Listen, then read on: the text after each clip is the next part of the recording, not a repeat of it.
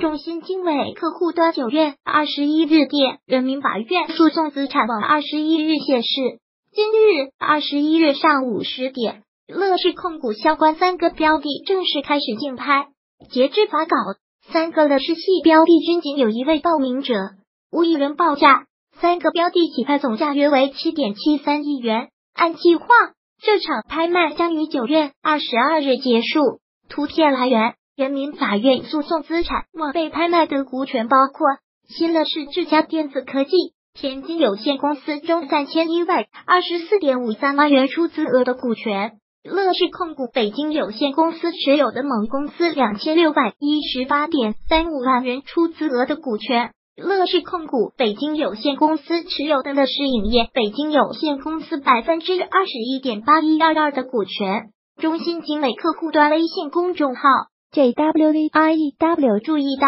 三场拍卖围观次数超一点五万次，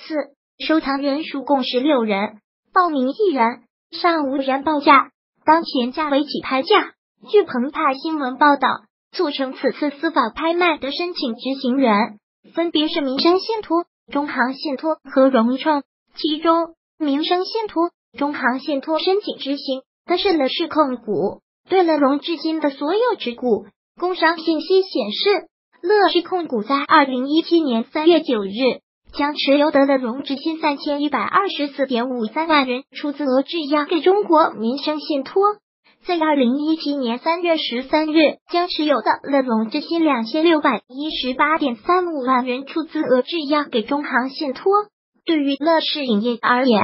目前融创持有乐视影业百分之二十一股权，如果融创这次接手乐视控股被拍卖的百分之二十一点八一股权，持股比例将达到百分之四十二点八一，几乎可以实现绝对控股。另外，新京报消息称，根据标的详情可知，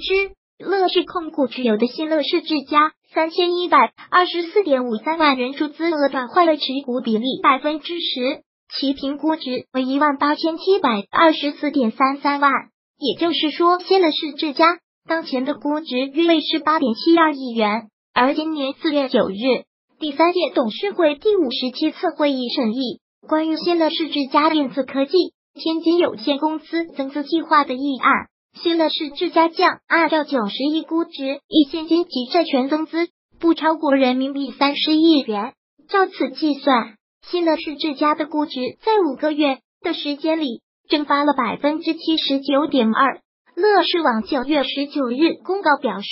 二十一日的拍卖导致公司存在失去对控股子公司控制权的风险。此外，贾跃亭所有股票质押式回购交易已触及协议约定的平仓线，且贾跃亭所有股票质押式回购交易均已违约。贾跃亭持有公司股票的处置进度一定程度受其股票质押。动机状态的影响，从而可能导致公司实际控制人发生变更的风险。中心经纬 A P P 关注中心经纬微信公众号。